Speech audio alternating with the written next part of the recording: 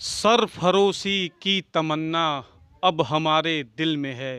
देखना है ज़ोर कितना बाजुए का तिल में है। हम लोग इस समय हैं कुशीनगर जनपद के पड़ौना क्षेत्र के सहुआडी में। और आज बौद्धों की धरती से एक ऐसा लाल पैदा हुआ जिसने अपनी जान भारत माता की सेवा करते हुए वो शहीद हो गए। धन है ऐसी धरती और धन है ऐसे माता पिता जिन्होंने ऐसा सपूत पैदा किया जिसने भारत माता की सेवा करते हुए अपनी जानों को न्यौछावर कर दिया। आज हम उनके पैतृक गाँव पर आए हुए हैं और सामने आप तस्वीरों में देख सकते होंगे, ये उस शहीद का घर है।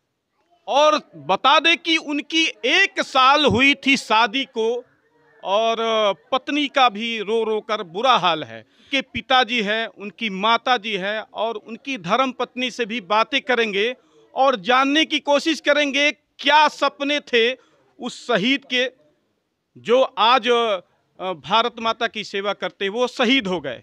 तो चलिए उनके पिताजी से पहले बातें करते हैं और जानने की कोशिश करते हैं कि उनके बेटे की क्या सपने थे कि अभी भी उनके आँखों से वो गम के आँसू सूखे नहीं है। सामने तस्वीरों में देख सकते हैं, वो शहीद के पिताजी हैं। और क्या स्थिति है? सामने आप तस्वीरों में देख रहे होंगे। रो रो कर इनका बुरा हाल है। और बता दें कि स्थिति ऐसी है कि बात करना भी मुश्किल हो रहा है। तो क्या नाम है हमारा राजकिशोर सिंह राजकिशोर सिंह नाम है। अच्छा कब उनकी आपके सुपुत्र की कब भर्ती हुई थी? पंद्रह में पंद्रह दिसंबर पन, सन पन, दो हज़ार पंद्रह सत्रह दिसंबर की। सत्रह दिसंबर की। अच्छा कब वो आए थे घर पे? चौबीस तारीख को चार बजे घर पे आए अच्छा, चार बजे। चौबीस जुलाई को? हाँ चौबीस अच्छा, जुलाई को घर आए थे चार अच्छा, बजे क्या सपने थे? किस मकसद से आए हुए थे वो? वो एक घर पे पूजा कराना था इसीलिए वो उनको बुलाए थे। वो पंडित जी बोले थे कि पूरा परिवार रहेगा तो पूजा होगा। इसीलिए हम बुलाए थे। अच्छा अच्छा। तो पूजा पे बुलाए थे आपने? अच्छा उनकी क्या सपने थे अपने परिवार के लिए अपने घर के लिए अपने क्या सपने थे उनके, उनके सपने तो यही थे कि ये ये उनका भतीजा है। वो कह रहे थे कि उनके डॉक्टर हम बना देंगे कमा करके। यही उनका सपना था। भतीजे को डॉक्टर बनाने का सपना था। सपना था। बोले हमको कुछ नहीं चाहिए अपने भतीजे को डॉक्टर बना देंगे कमा करके। यही उनका सपना था। ये सपना सारा फेल हो गया अभी हमारा टूट गया। उम्र सत्ताईस साल की थी। पिता कह रहे हैं कि उनका सपना था कि उनका एक छोटा सा भतीजा है। अब इसका सपना कैसे पूरा होगा? अंकल है। इसका सपना कैसे पूरा होगा? ये बहुत बड़ा सवाल है इस परिवार के लिए। और क्या और क्या सपने थे उनके? और कोई सपने थे? और सपने तो बहुत थे। उनके सपने बहुत थे। अपने भाई को बाप के समान मानता था।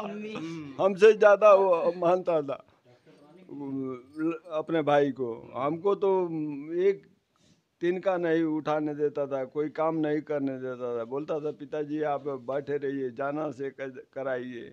लेकिन फिर भी मैं अपने पैर को अच्छा आप किस मतलब क्या शासन प्रशासन से आप क्या मांगे करते हैं अपने शहीद बेटे के लिए मैं तो कुछ नहीं मांगा आप उनके परिवार है हाँ। उस परिवार के लिए क्या मांगे करते हैं जो एक वीरांगिनी है जिसने अपना पति खोया है और हम्म। आपने तो अपना बेटा खोया है हाँ। तो उस वीरांगिनी के लिए आप क्या सरकार से डिमांड करते हैं अब गवर्नमेंट की मर्ज़ी जो दे दे रुपया पैसा चाहे जो अब हम क्या नौकरी दे दे? पेंशन मिलेगा पेंशन उसको मिलना चाहिए हमारे बहू को। उसी से हम भी है अभी जिंदे हैं अभी हम भी उसकी देखभाल करेंगे। ये बात नहीं है उसकी देखभाल के लिए हम पीछे नहीं हटेंगे। अब उसके लिए हम इनको छोड़ करके उसको पकड़ेंगे। क्यों? धर्म है। सामने देख सकते हैं तस्वीरों में पिता कह रहे हैं कि हमारे परिवार के सदस्य जो उनके छोटे भाई हैं, उनको अगर नौकरी मिल जाती है तो हमारे परिवार, बड़े भाई हैं, उनका परिवार का भरण पोषण हो सकता है।